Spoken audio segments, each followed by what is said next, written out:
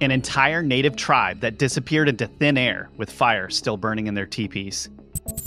Giant dark creatures from the woods that terrify villages or make people mad. Cannibal mountain people that look more like dwarves than men.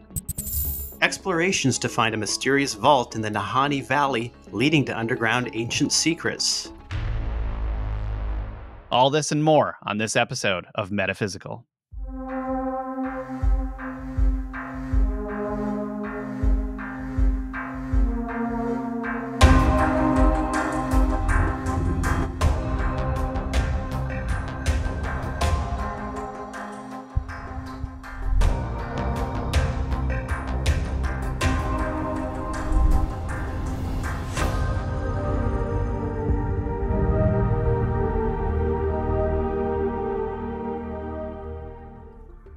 If you go into the Nahanni Valley in Canada, don't whistle in the woods because you'll either terrify locals or you might invite something even worse to hunt you, never to be seen again. The native to Nahanni tribe, the Dene, recorded another tribe called the Naha in their oral history. Naha natives were recorded as much bigger, stronger, and more warlike than normal native Indians. Who were they? And the question remains what fate did the Naha succumb to in their sudden disappearance? I was searching the J.C. Brown cave area and going to this site where I knew that J.C. Brown was camping out, which is near the cave. And I brought this friend with me. Like, have to hike in a couple miles, but we get out of the car in the forest where the car is parked and we're walking along the trail. And out of nowhere, he just starts whistling. He's just whistling and he never, he never whistles. What are you doing? What are you doing? Stop whistling. It was the weirdest thing. I almost thought something came over him to cause him to whistle, you know? Yeah. Like what, what, especially if he's never done it before. That's bizarre. Like, is there something there that's Yeah. like prompting him to do that, you know? Yeah. Uh, that's what I thought. Yeah. Well, and, and as you guys maybe do or don't know at home, whistling in the woods is a really bad idea. listen to your elders, listen to the old stories, and don't whistle in the woods because it and could invite. why is it a bad idea? Some of those things will use whistling as communication. So don't do it. Actually, going to be talking about in this episode today. The Naha, this strange tribe. Now, the story goes that the Dene people in the area recorded battling with the Naha people.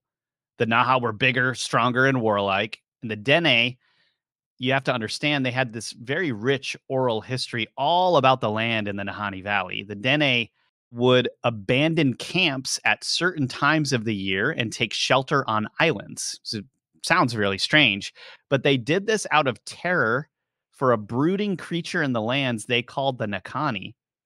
The islands they thought would protect them from the Nakani who were unable to cross the water to reach them. Now, these Nakani were cave dwellers who hibernate for winter. They were allegedly twice the size of ordinary humans, placing them at about anywhere from 10 to 12 feet.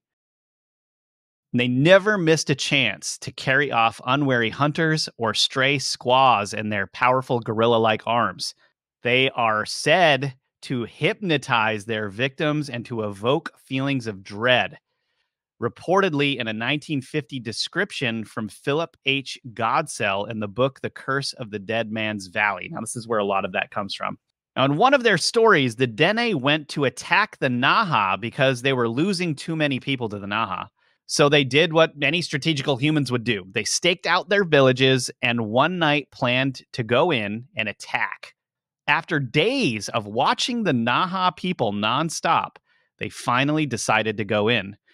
To their surprise, the entire village had vanished. The entire Naha tribe disappeared into thin air with the fire still burning in their teepees. So when I say the entire village vanished, I don't mean like their homes. Those were all still there. Everything was there, but the people were gone. It's in their oral history, and nobody knows what happened to these people. The question remains what happened to the Naha tribe? Did they flee and migrate to the south where they became the Navajo people? Did these Nakani kidnap them and drag them away into the into the Nahanni forests? Or was there some other worldly explanation? And this is the part of our episode, or one of the many parts of our episode, where we're going to hear from our remote viewer, John Vivanco, and his team on what they actually found. Because what we want to do is get to the source of what are these mysteries? What what is the answer to these mysteries? Can we shed any light on them?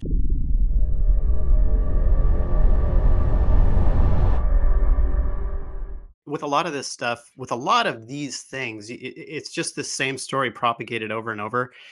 It takes on a life of its own and it turns into this massive mystery where they're actually in the remote viewing data is not so much of a mystery. There was no other monster that came in and ate them. As much as I'd love there to be that stuff, there's no aliens abducting them or going to another dimension. We do sometimes see other beings, tribes, when you get to like the Wagas tribe that was related in some fashion to Mount Shasta area, did go to another realm. But these guys, this this tribe, they basically just packed it up, left their stuff, and took off. They they trudged away because of the danger, because they were in a location that was difficult to live in, for one thing. They were under constant pressure by warring, especially warring with these others and warring with the elements. And they knew that the other tribe was going to attack them, was watching them. This tribe left. They just left the area. They were done with it. No more for them. So it's it's actually most likely to be true that the Navajo that we see down south actually is a descendant of these Naha people. There you go. The, they went. They have a similar pastures. yeah, and they have a similar language as right. well, and similar characteristics to the Navajo, which is really really interesting. And you know, a lot of people think that that's impossible. It's like, well, how how do they go from you know being up so far up north and getting down there? I guess they just went for the long march. I mean, it, it uh, obviously would take them probably generations, many generations but at that point, you know, according to our data, they they wanted out because of the threats. They left because of the threats. Like they they strapped stuff onto their back, what they could carry with them, and got out. So they were like, it looked like they were in a valley. They were in uh, a location that was down low, muddy, uh, water flow. It was dark, and then we have them trudging uphill, like up a switchback up a switchback, getting to the top of the hill, and then going like in a southerly direction, just leaving completely, totally leaving. And that's like, those are the very descriptive core elements of all the data that we have on what happened to them. Since there is that connection with the Dine, the, the Navajo in language, and well, that's a very strange thing to begin with because that kind of thing doesn't happen. So, so I would surmise, yeah, that that the Dine are what is are what the Navajo. That's also a name for the Navajo, right? The no way, I did not know this. Yes, D I N E, Dine, right? I, I think that's how you pronounce it. So sorry if I'm like totally massacring that, but that's another name for the Navajo. So there is some connection up there, and with these tribes in general to the Navajo down in the Southwest. So the, here's the one thing with these stories is that you you get one slice of moment in time but in my experience and what i see in the data is that these tribes were more intermingled than you can imagine right? Not just not just because not just like this tribe had disappeared right? These tribes were actually more intermingled than you can imagine. And you've got offshoots of the tribes that go out and form their own little um, clans and groups and then they begin to fight each other. And so you have one slice of a story but if you dig deeper i'm sure there are more stories that connect these tribes more into one. It makes total sense. It's like look what happens when you get like in the roman empire or whatever it is. You've got different different generals and different warlords can or different leaders of different areas can oftentimes take part in civil war against their own people that are in right. different areas like why would the navajo the naha or the dene tribe be any different you're going to have people that want more that do they they see a different path and they want to take that path and then maybe that was it maybe the maybe the naha like really wanted to go down south they wanted to stay up there and there was more warring or more politics going on than we know i mean we don't even know what happened you know I think a lot of it, like you said, is politics. A lot of these stories are just a tiny slice, and the the politics are much broader than what you can possibly imagine. But yeah, nothing paranormal.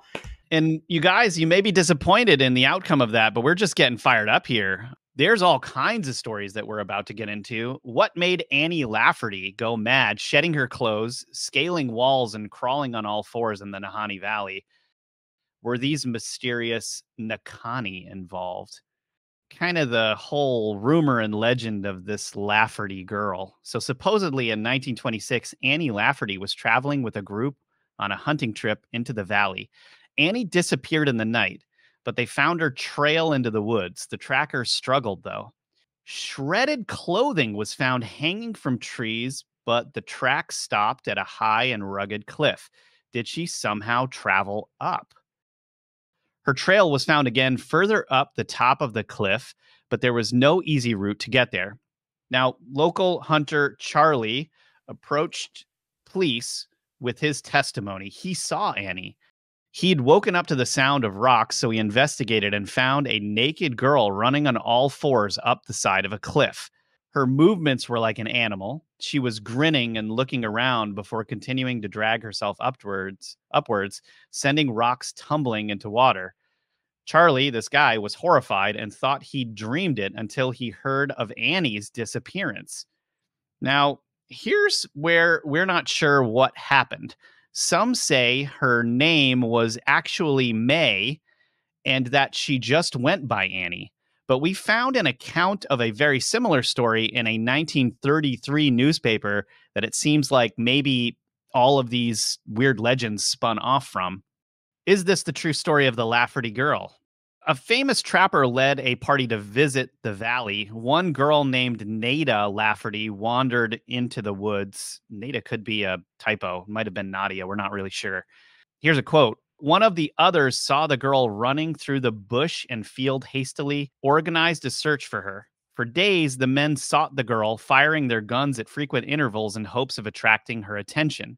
Indian trackers were brought in to help. They found traces of her, portions of her clothing strung along the line of her flight. Flight meaning her path of, you know, skulking around the Nahanni Valley. Now, the article said uh, for her flight, there was no explanation, nor has her fate been learned.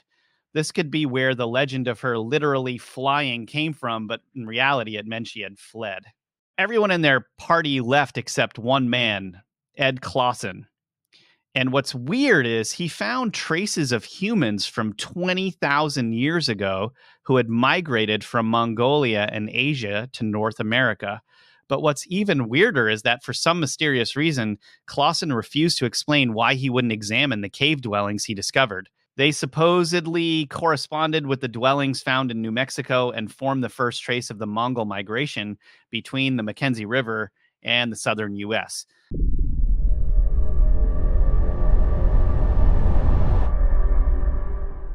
So to recap, in a real newspaper article from the 30s, a girl goes missing. The one man who stays behind finds mysterious evidence of an ancient dwelling, but refuses to say why he wouldn't explore it.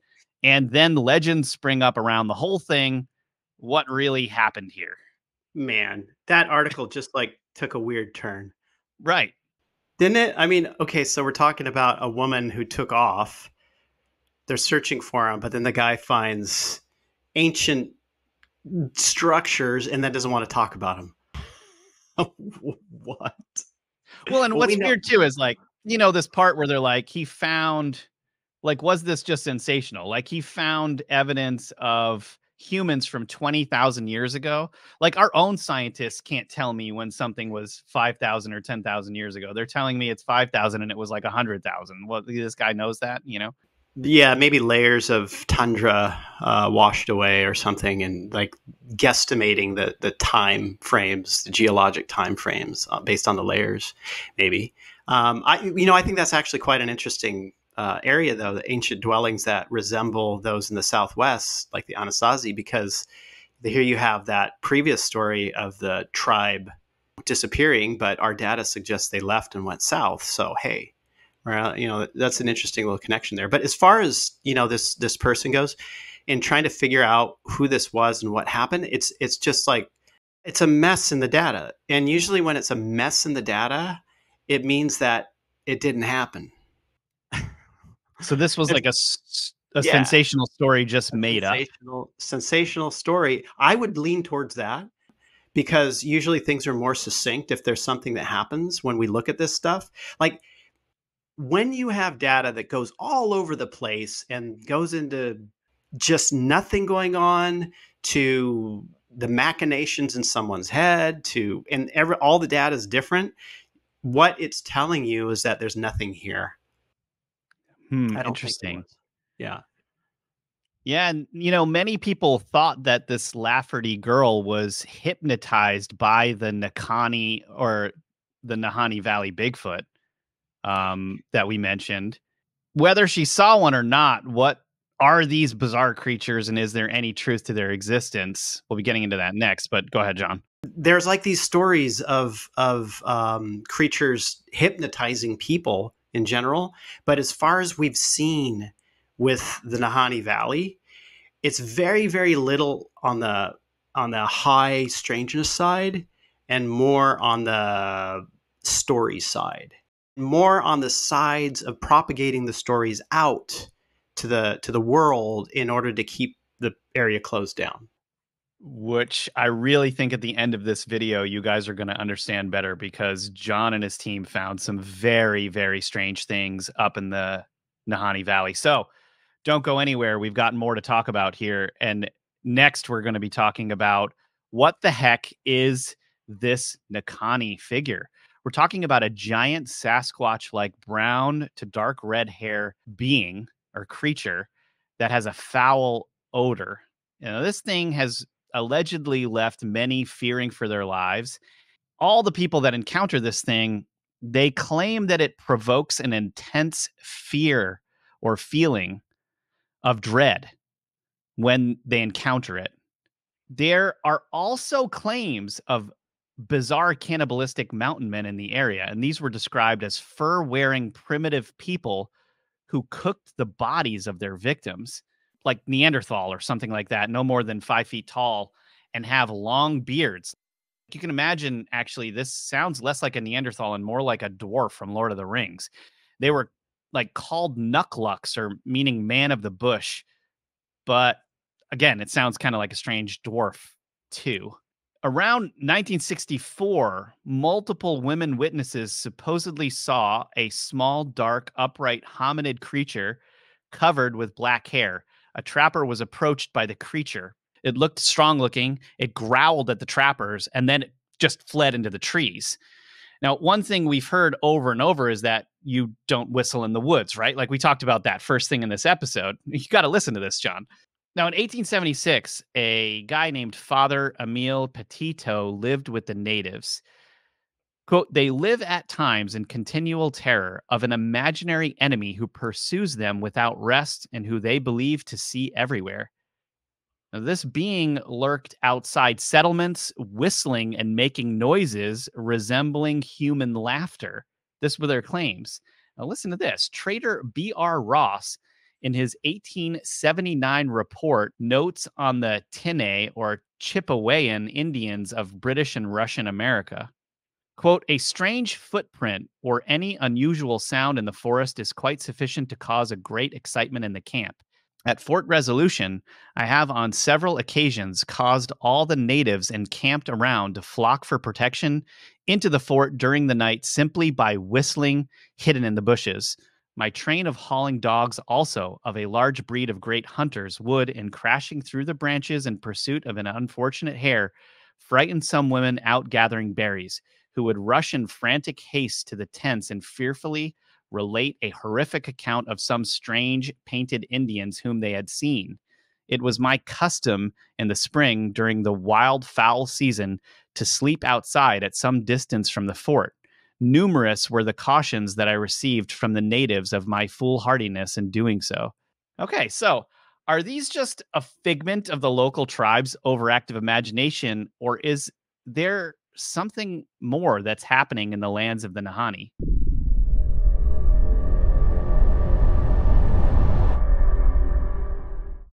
It's like when there is a um, rumored haunted house and you have a lot of people going into that house. where the the actual haunted part that that occurs and people experience is a lot less than on the side of people like psyching themselves out right and so it's it's like literally the tribe had gotten to a point where even if they heard any whistling they'd run for cover now like when you get into other native people lore yeah you have the stick indians who whistle and and lure you into the forest or a baby crying or a baby laughing somewhere in the forest. And the intent is to lure you in. And quite often these stick people look like uh, some type of bigfoot or hairy person right? Sometimes they're small statured sometimes they're large statured but they will often use those methods. And a lot of native native lore have this story. In fact i have a, a friend who took a video at one point uh, in a certain area out in the woods where there was that whistling going on. And the intention is to draw you towards that whistle and get you lost. The, the people were experiencing it.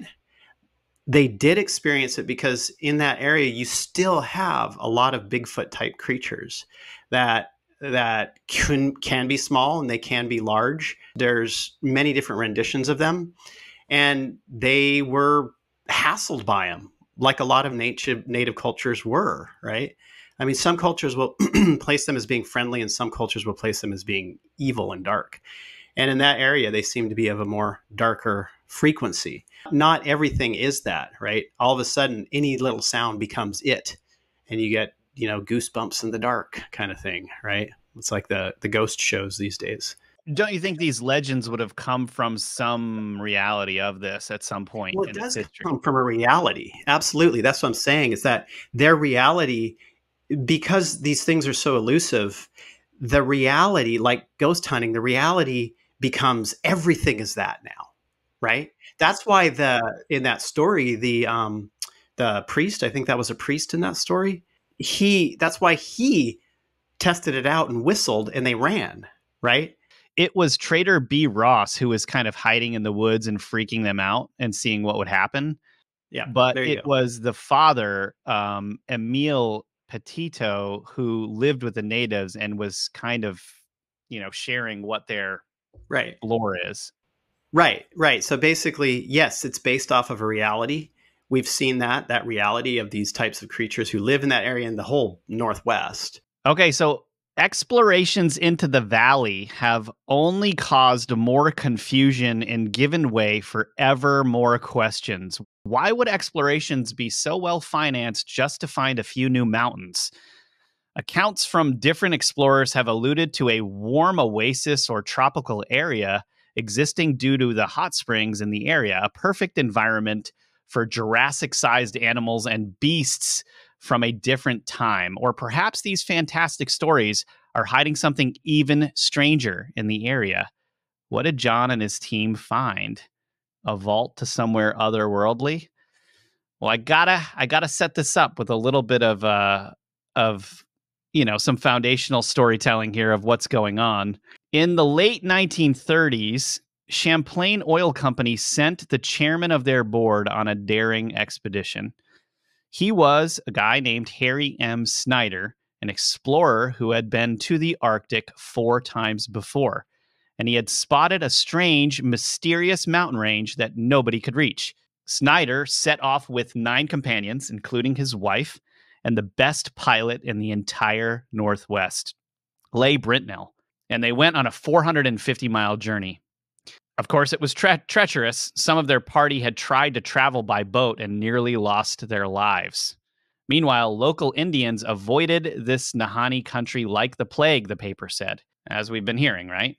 Brintnell's flying record was almost unparalleled in Canadian aviation. Snyder said he flew them over jagged, unmapped peaks that rose 10,000 feet in the air, and he did it seven times that summer without any accidents there was a legend that in the area was a tropical valley with 10,000 hot springs, 30 foot high ferns, and temperatures that never went below 50 degrees in winter. But Snyder's experience was just the opposite. And he said he met the man who had created that story himself. Snyder said there were only a few hot springs in the whole area and that they had no effect on the temperature, which was extremely cold. But there's still more reports of this warm oasis um, that we need to go through.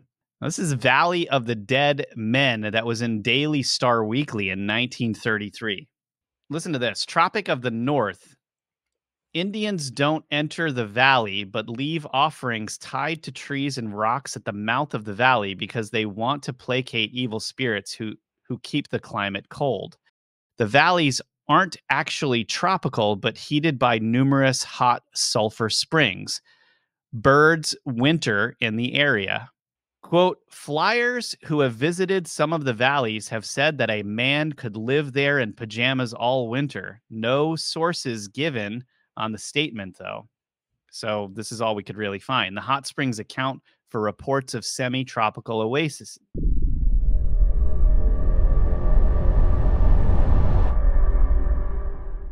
Is there really a tropical environment in the Nahanni Valley?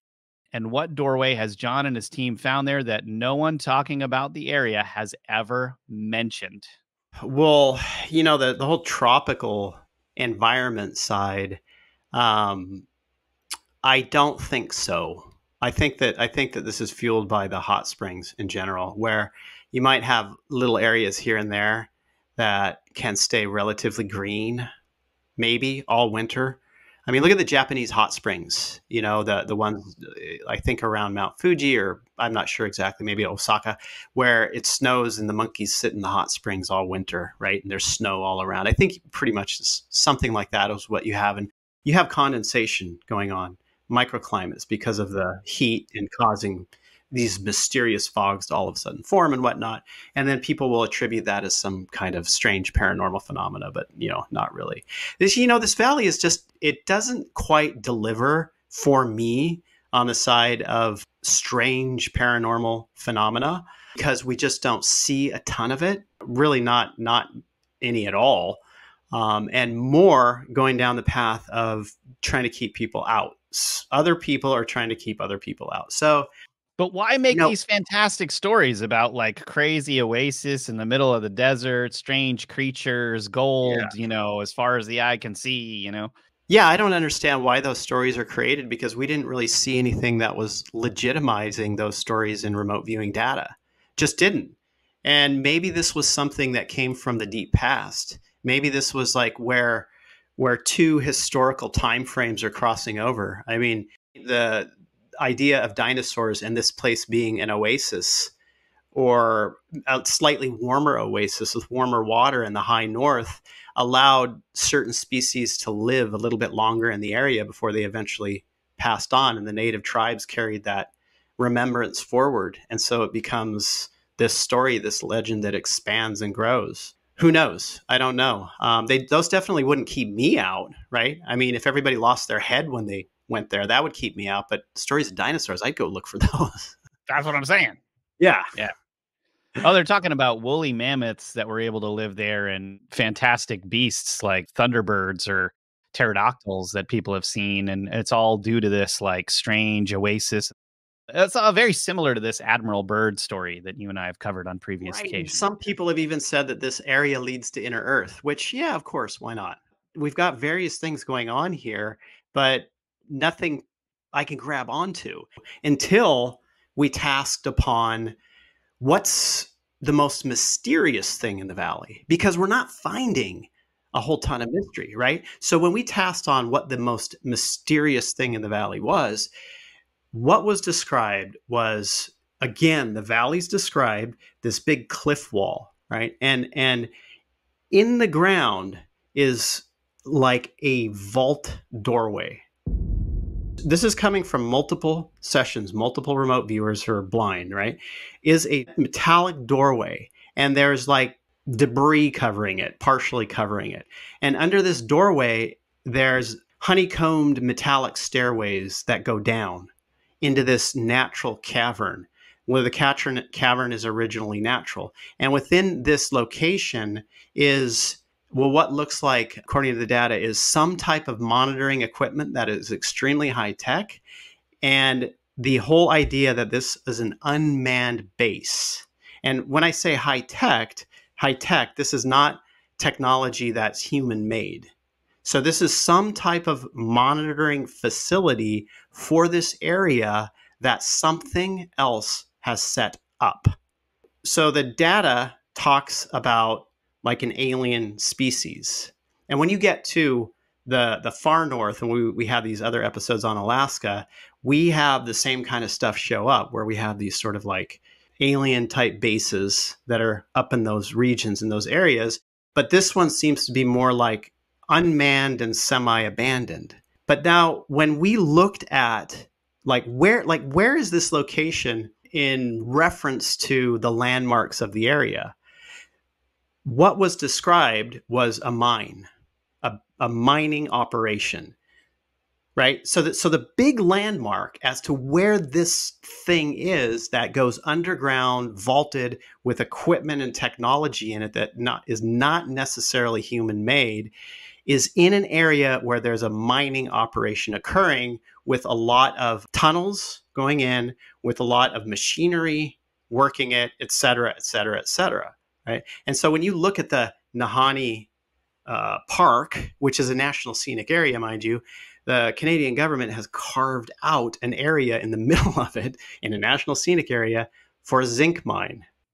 Yeah, right? there is a zinc mine up there. They make right. like four hundred million dollars a year off of this zinc mine. That immediately what I thought about when you said what was around this area, and I'm thinking about this mine that they have up there where they're excavating all kinds of stuff.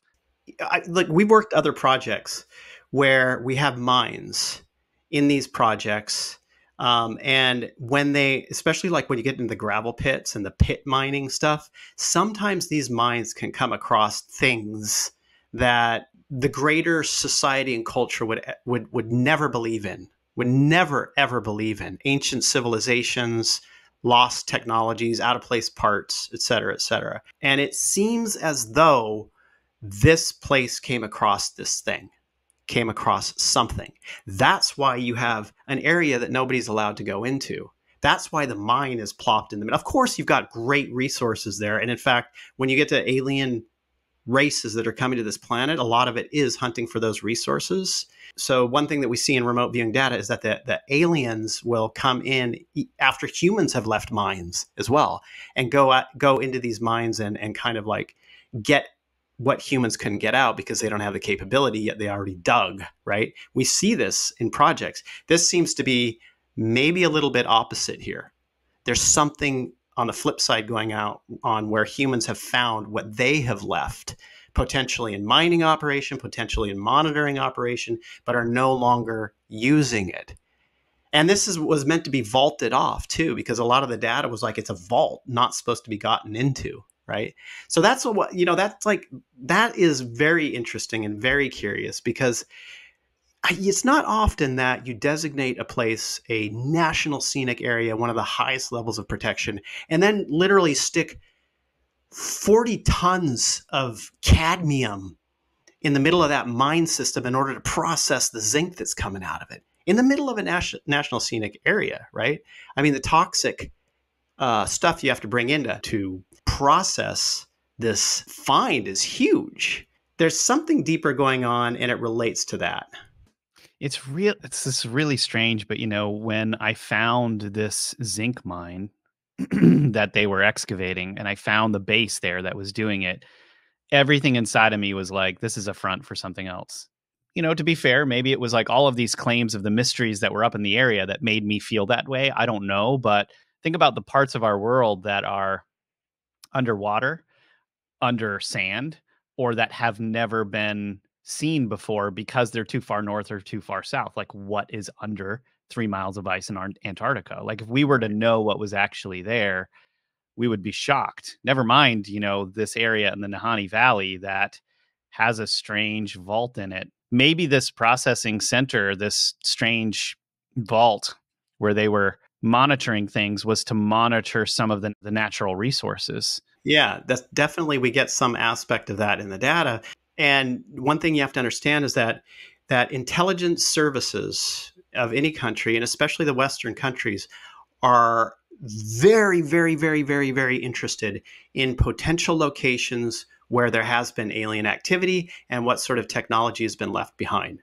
Always. It's for the it's for the technology. So exactly. So yeah. much so. Like when you look at the Great Pyramids of Giza, for instance, you had SRI, Stanford Research Institute, who created remote viewing, a CIA intelligence research organization investigating the pyramids at Giza. For entertainment purposes, though, right? It was for entertainment purposes. Investigating the pyramids of Giza for many years to try to find ancient technology, right? Funded, right? Along with the remote viewing program, actually in, in coordination with the remote viewing program. And you have to wonder too, you know, you had SRI remote viewing program called Stargate, and they're also at the same time searching, you know, with with technical equipment, the pyramids at Giza. What were they doing? Looking for a Stargate, perhaps? Maybe as one of the things, but I mean, it's the whole thing is this all like crazy technology we don't understand, and like we've right. been told we've been told 0.5% of the entire story about those pyramids. I mean, yeah. even even like you know as you and i were researching and developing shows on alaska i mean i was left completely completely confused about that entire giza area and what it relates to and if you guys haven't watched those episodes if you're interested in more weird in the northern territories go check out our alaska episodes because we figured out a lot of stuff but we found things that we can't explain that we're going to have to get into at a later time with the pyramids especially. Uh, now this was it like this was the craziest thing was this vault. Did you guys see anything else? No i mean that was it and and the vault was actually pretty limited in size. It didn't necessarily branch off into other other tunnels um, but what i believe part of the mine's operation is is searching for more of this stuff in that area and that's you know i mean they're they're a legitimate mine Absolutely, but this is a sort of a secondary or probably the, the first operation of it on the back end. And, and it's so compartmentalized that people working there aren't going to know. Uh, but this is the reason why you have a mine in the middle of a national scenic area, highly protected area, which doesn't make a lot of sense. Well, if you guys are watching this episode, we hope you're enjoying it. Please definitely leave us a comment below and let us know what you thought of this we've shed some light on a lot of the mysteries revolved around the Nahanni Valley as we've gone through this episode. And we've highlighted some things that no one has talked about. We'd love to hear what you guys think. Uh, John, thanks so much for being with us. And for those of you at home, we hope you guys thought this episode was as out of this world as we did.